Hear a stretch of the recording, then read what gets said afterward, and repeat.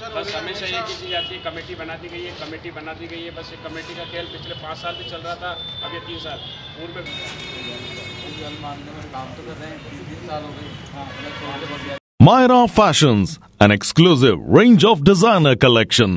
Swami Complex and Vega Mall, Ajmer. Hello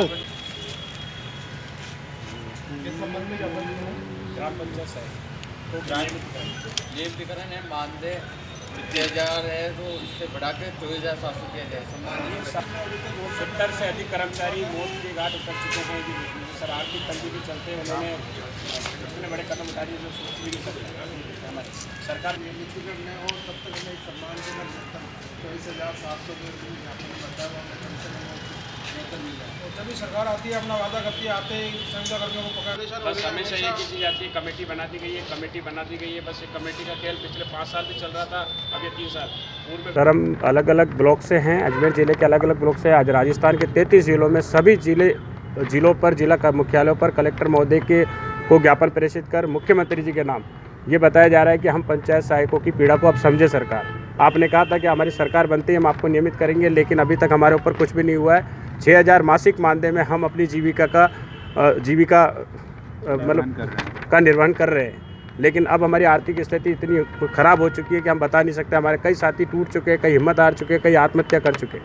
अब तक सत्तर कर्मचारी जो पंचायत सहायक है जो पूर्व में विद्यार्थी में मित्र हैं वो मौत के घाट उतर चुके हैं आर्थिक तंगी के चलते। लेकिन ये सरकार हमारी बिल्कुल भी नहीं सुन रही है। सरकार आती है कमेटी बनाती है और कमेटी के नाम पर बस आगे आगे हमको बस इसी तरीके से हमको पाँच साल पूरा करके और चली जाती है। पहले भी ज्ञापन दिया था। पहले भी दिया था इससे पहले भी हम दांडी यात्रा भी निकाली हम दिल्ली भी गए जयपुर भी गए कई बार गए लेकिन अभी तक हमारी किसी प्रकार से सुनवाई नहीं हो रही है। न छः हज़ार मासिक मानदेय और छः हज़ार ही रख रखा है हमारा। आप क्या चाहते हैं आप हम चाहते हैं हमारा कम से कम न्यूनतम मानदेय चौबीस सात सौ किया जाए राजस्थान में हमारी संख्या सत्ताईस हज़ार है हमारे दर्द को समझे हमारे पारिवारिक आवश्यकताओं को समझे हमारे घर परिवार किस तरह से पालना है सभी ज़रूरतों को सरकार समझे।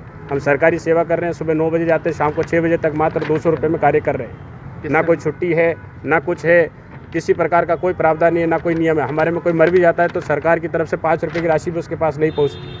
किससे मिलने आए किसके नाम ज्ञापन दो? हम कलेक्टर महोदय से मिलने आए हैं। हम मुख्यमंत्री उप मुख्यमंत्री और बी डी गल्ला जी जो हमारी संविदा कमेटी के अध्यक्ष हैं उनको उनके नाम हम एक ज्ञापन प्रेषित करने आए हैं। किशोर यादव अजमेर।